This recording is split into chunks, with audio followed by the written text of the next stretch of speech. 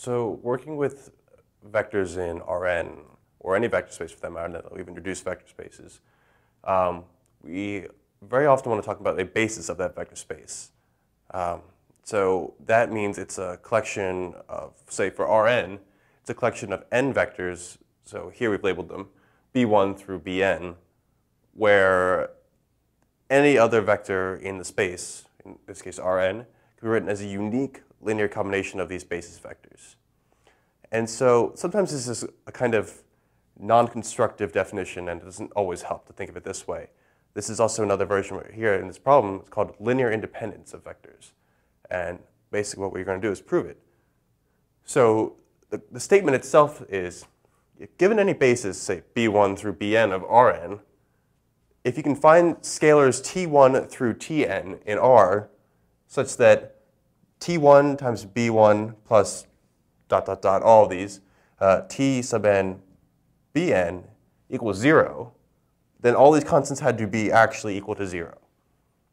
So it basically gives, um, it, it reiterates the statement that 0 has a unique expression in terms of the basis vectors. And we're going to exploit this fact in the, the actual proof. So let's get a little bit of room here. So the method we're going to prove this by is something called proof by contradiction. Um, basically says we want to prove something, what hypothesis, hypotheses do we have? If we assume that those are false, we get a contradiction. So what we wanted to assume is that there exist these scalars such that uh, the linear combination of all those with the basis elements is equal to zero. Then all the all the scalars had to actually be, in fact, zero. So what we're going to assume is, what happens if those scalars are not all 0? So that means without, just, without loss of generality, at least one of them is non-zero. And to simplify the expression, or the method of proof, we can just assume the first one is non-zero. The, the case is really the same thing if you choose any one of them. So we assume t1 is not equal to 0. Okay, so we're going to exploit the fact that a basis gives a unique expression in, in terms of a linear combination of the other basis elements.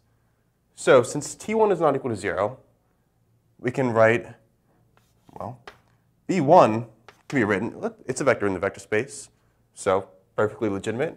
can be written as 1 times b1 plus 0 times b2 dot dot dot plus 0 times bn. However, since we have that t1 b1 plus dot dot dot plus tn bn is equal to 0, we can move t1 b1 to the other side and divide by t1 because it's not 0 by assumption here. So we get b1 is equal to minus t2 divided by t1 b2 plus dot dot dot sorry, minus Tn over T1 Bn. So now we have two different expressions of B1, sorry, for B1 in terms of the basis elements.